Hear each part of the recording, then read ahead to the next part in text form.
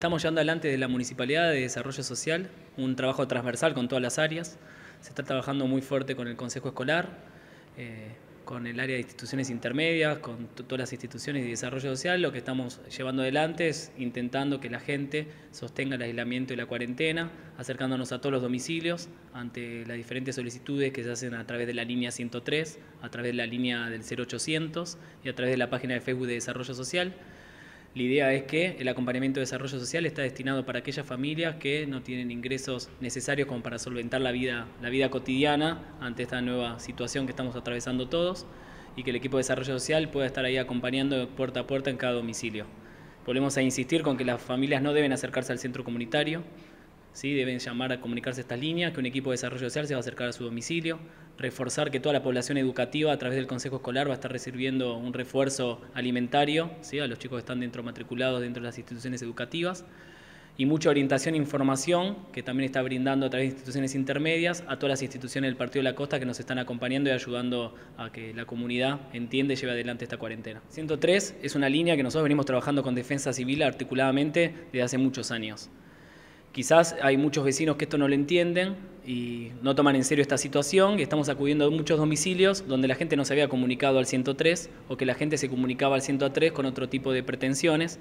La realidad es que la articulación con desarrollo social es para acompañar y fortalecer a aquellas familias que no pueden solventar la vida diaria, la economía, llenar la olla. Ese es el destino del acompañamiento que está haciendo desarrollo social.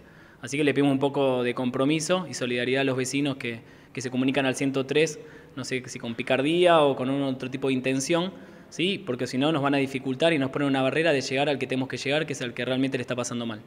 Primero poner de en valor que es una gestión que no venimos, no empezamos este año, sino que venimos trabajando, si bien ha cambiado el intendente, somos la misma gestión de gobierno, así que que la comunidad del Partido de la Costa, localidad por localidad, nosotros conocemos a los vecinos que ya venimos acompañando de otras gestiones en otros momentos del año, así que a nosotros nuestra población objetivo la conocemos y la venimos acompañando.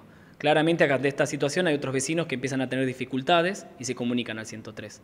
El equipo está compuesto por una psicóloga y una trabajadora social, donde nosotros eh, bajamos al domicilio, ¿sí? se realiza contención, orientación y se dejan los recursos para que la familia pueda solventar sus necesidades. La página de la Municipalidad de la Costa va constantemente, no solamente pasando los partes diarios de la Secretaría de Salud, sino todas las informaciones están, están subidas a la página todos los días.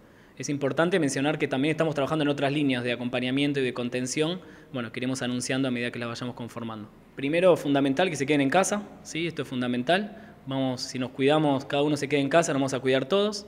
Que el Estado municipal va a estar, va a estar acompañando. Le pedimos a los vecinos que si con responsabilidad se comunican en línea, vamos a llegar a todos en tiempo y forma. Yo creo que con el pasar de los días, aquellos pícaros van a dejar de, de, tomar esto como una burla y, realmente vamos a tener un, contacto más directo con el que realmente le está necesitando. Así que bueno, que Desarrollo Social va a seguir incrementando el acompañamiento casa por casa. Y bueno, y esperemos que esto pase pronto y que podamos conservar la salud de la comunidad.